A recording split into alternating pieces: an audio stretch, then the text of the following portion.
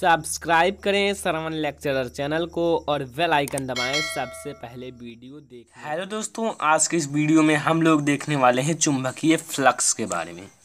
चुंबकीय फ्लक्स के बारे में आज हम लोग देखेंगे चुंबकीय फ्लक्स की परिभाषा। उसका सूत्र क्या होता है, ठीक है? और उसका मात्रक जो होता है, वो क्या होता है, ठीक है? तो दोस्तों, वीडियो को लास्ट तक देखते रहना क्योंकि ये आपके लिए बहुत ज़्यादा इंपॉर्टेंट है। और अभी आप लोगों ने मैंने बहुत सारा इस पाठ का वीडियो बना चुका हूँ, उसे जाके देख लीजिए। विद्युत मोटर विद्युत जनित्र, ऐसे कई सारे टॉपिक्स क्लियर हो चुके हैं, ओम का नियम। तो दोस्तों, वीडियो को लाइक कर दीजिए। आइए हम लोग देखते हैं चुंबकीय फ्लक्स की पहले परिभाषा। फिर हम लोग चित्र भी देखेंगे।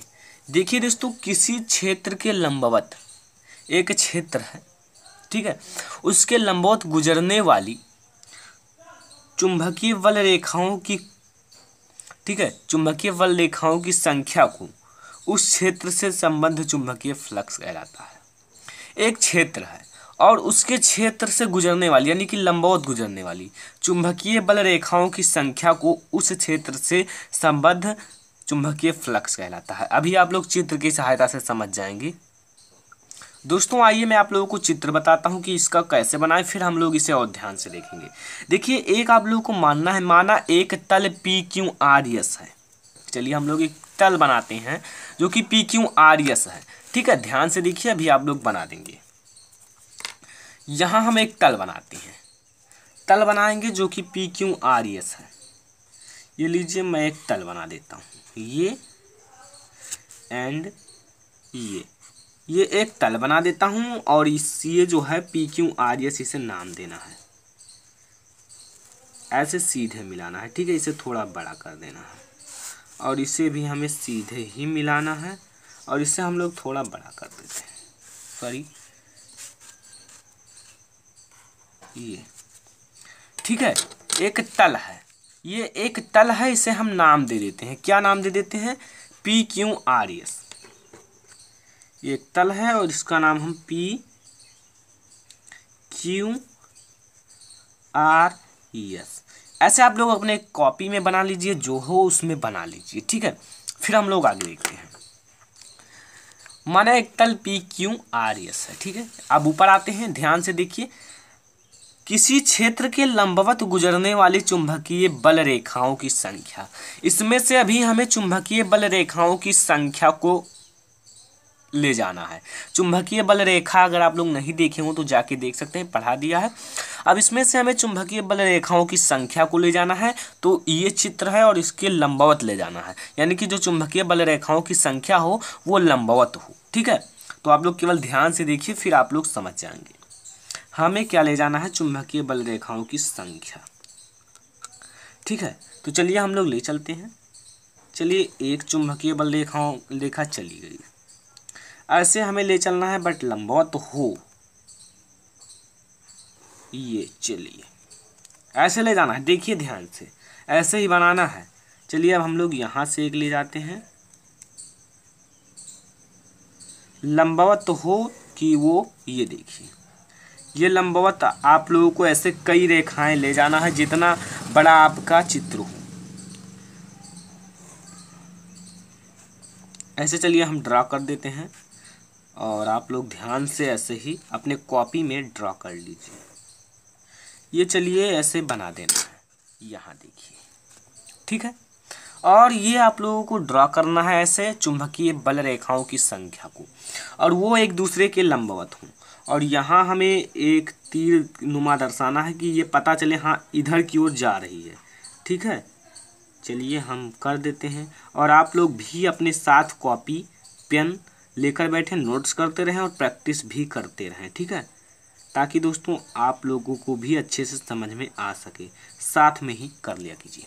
तो ये हो गया, जो कि लंबवत है। तो ऐसे आप लोगों को बना देना है। अब आगे देखते हैं हम लोग। रेखाओं को उस क्षेत्र से संबद्ध चुंबकीय फ्लक्स कहलाता है। तो भाई, चुंबकीय बल रेखाओं जो लंबवत होती हैं, वही जो उस क्षेत्र से संबद्ध चुंबकीय फ्लक्स कहलाता है। ठीक है, यही चुंबकीय फ्लक्स हो गया। यह चित्र जो है दोस्तों, चुंबकीय फ्लक्स का है। अब यहाँ आप लोग देखिए, यहाँ। माना एक तल पी क्यू आर एस है। मैंने मान लिया एक तल पी क्यू आर एस है। ठीक है, यहाँ देखिए। एक तल है पी क्यू आर एस ठीक है। मान लिया। क्षेत्रफल ये है, इसका जो पूरे का क्षेत्रफल है वो ये है। क्या दोस्तों? क्षेत्रफल एरिया जो है, क्षेत्रफल पूरे का वो ये है। ए से एरिया ठीक है? और चुंबकीय तीव्रता, जो चुंबकीय तीव्रता है वो बी है। चलिए हम यहाँ कहीं लिख देते हैं चुंबकीय तीव्रता जो इसका है, वो बी है। चलिए इसका चुंबकीय तीव्रता जो है दोस्तों, वो बी है। ठीक है? इसका चुंबकीय तीव्रता क्या है? बी है। अब दोस्तों, हम जो चुंबकीय फ्लक्स होता है, उसे फाई से प्रदर्शित करते हैं। तो फाई बराबर क्या हो जाएगा? यहाँ चुंबकीय फ्लक्स बी है, यहाँ आपका क्या चुंबकीय तीव्रता बी है, तथा क्षेत्रफल ये है। तो आपका दोस्तों, जो फाई बराबर होगा, ठीक है, चुंबकीय फ्लक्स जो बराबर होगा फाई बराबर बी ए कॉस थीटा ठीक है? बी ए कॉस थीटा ये जो हमारा होगा बी ए कॉस थीटा होगा। फाई बराबर बी ए कॉस थीटा तो इतना आप लोगों को समझ में आ गया? पहले आप लोग परिभाषा समझें, फिर चित्र को भी समझें, ठीक है? वन पॉइंट वन डाल दीजिए, ठीक है? ये चित्र है और परिभाषा। अब हम एक बार समझा देते हैं, फिर हम इसका मात्रक निकालना सीखते हैं। चुंबकीय फ्लक्स। किसी क्षेत्र के लंबवत गुजरने वाली चुंबकीय बल रेखाओं की संख्या को उस क्षेत्र से संबद्ध चुंबकीय फ्लक्स कहलाता है। एक मैंने लिया, क्या लिया? किसी क्षेत्र, एक मैंने क्षेत्र लिया। P Q? आर एस यानी एक तल लिया या क्षेत्र लिया। अब उससे गुजरने वाली चुंबकीय बल रेखाओं की संख्या, इससे जो गुजरने वाली चुंबकीय बल रेखाओं की संख्या उस क्षेत्र से संबद्ध चुंबकीय फ्लक्स कहलाता है। ठीक है? अब अब यहाँ आप लोग चित्र बनाने के लिए यहाँ आप लोगों को लेना है माना एक तल पी क्यू आर एस है। आप लोगों को मान लेना है एक तल पी क्यू आर एस है, इसका क्षेत्रफल ये है और क्या है चुंबकीय फ्लक्स जो है, चुंबकीय चुंबकीय तीव्रता जो है वो बी है।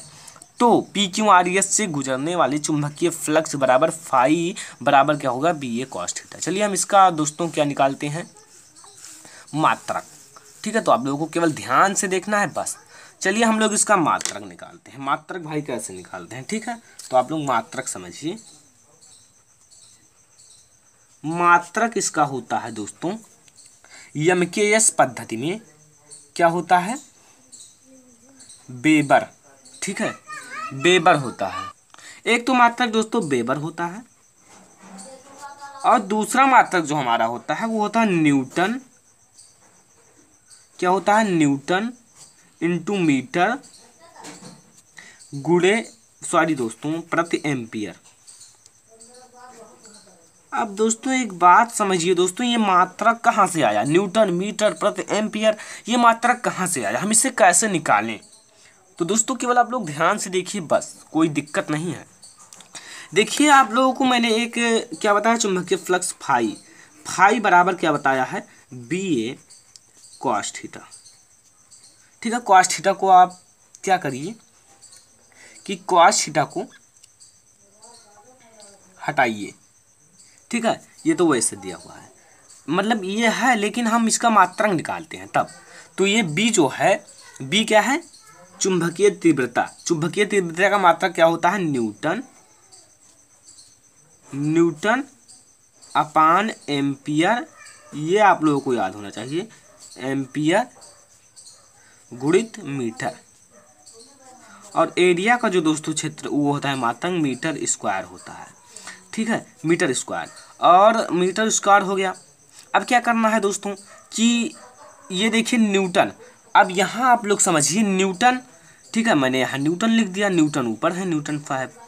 तो न्यूटन, अब हमें क्या करना है? न्यूटन गुड़े मीटर। यहाँ देखिए आप लोग। न्यूटन गुड़े मीटर। अब दोस्तों यहाँ मीटर ही क्यों बचा? देखिए भाई, मीटर से एक मीटर चला गया, कट गया। तो यहाँ मीटर बचा और अपान यानी कि दोस्तों प्रति लगा हुआ है तो प्रति न्यूटन, सॉरी, एम्पियर, ठीक है? एम्पियर। तो यहीं से हमें इसका मिला है क्या? क्या मिला है मात्रक, ठीक है? तो ये दोनों आप लोग इसका मात्रक याद कर लीजिए। बहुत ही ईजी है। फाई का मात्रक जो होता है बेबर या न्यूटन मीटर प्रति एम्पियर होता है। ठीक है? तो इससे आप लोग नोट्स नहीं किए हो तो नोट्स कर लीजिए दोस्तों। क्योंकि भाई नोट्स करना बहुत ही ज़्यादा ज़रूरी होता है। आपको जब वर्क पड़े आप लोग इसे देख कर याद कर लीजिए, समझ लीजिए, ठीक है? तो आप लोग इसे वीडियो को स्किप करके नोट कर सकते हैं। और आप लोगों को नहीं समझ में आया हो तो वीडियो को पीछे करके ध्यान से समझ लीजिए, ठीक है?